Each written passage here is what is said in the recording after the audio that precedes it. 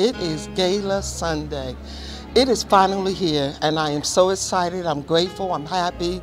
I'm blessed and highly favored. It is an honor to be on the red carpet with the 2018 Game Changers, and we are honoring them today on this beautiful day in Philadelphia, Pennsylvania.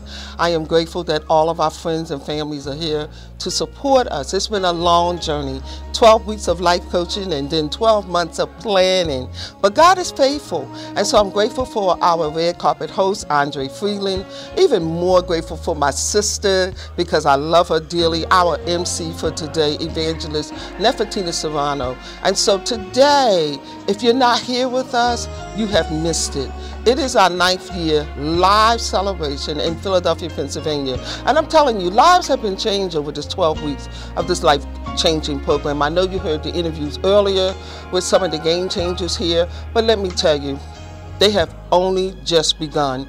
I am so proud of them because they have taken every obstacle, every roadblock, every hindrance, and they have turned it into a brilliant opportunity Okay, their lives have went to the next level. So that's what it's about. It's about changing the game. It's about not being the same and stepping out of your comfort zone and embracing your power, embracing your truth, being true to who God has created you to be. And so we're grateful. We're celebrating today. Our colors are red, gold, and black. We are here in royal attire, black tie at the beautiful Regal Ballroom. So I'm going to come back to you a little later. I just wanted to greet you, say I love love you. I thank you and I thank God above and beyond because He has done marvelous things and it is marvelous in His eyes. God bless you and I love you. Shalom.